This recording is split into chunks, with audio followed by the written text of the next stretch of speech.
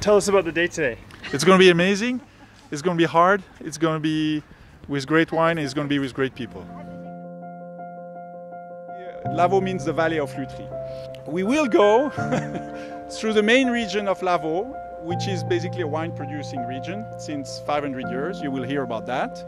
We will go through the different appellations. So you will first go through Villette, then Epesses, then uh, Dézaley, Saint-Saphorin, etc. We'll bike through them and then we will come back by boat and you will see them from the lake.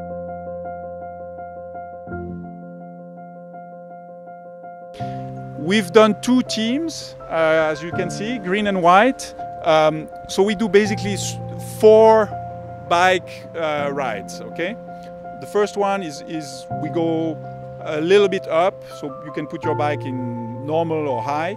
Um, the second one is almost flat, so this is easy. The third one is very, very steep, okay? The steepest you've ever done in your life. Guaranteed.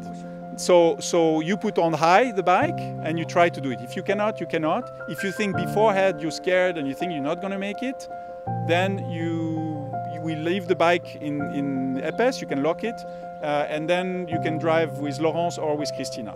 So we, we, we plan that there will be some people who will not bike. So you need to have fun. You're going to learn a lot of things, you're going to discover things, enjoy yourself, uh, and you're going to taste great things. So it's going to be, it's going to be amazing.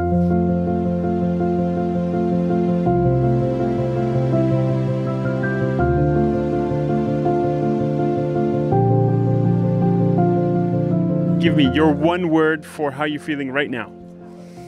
Excited. Armstrong. Scared. well, last time I was on a bike, I felt miserably, so.